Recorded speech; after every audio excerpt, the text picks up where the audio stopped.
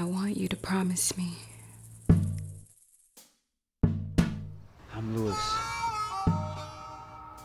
Louis Thibodeau. Nice to meet you, Louis. And you are?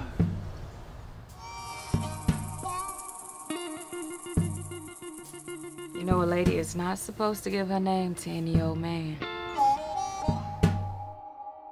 That's how rumors get started.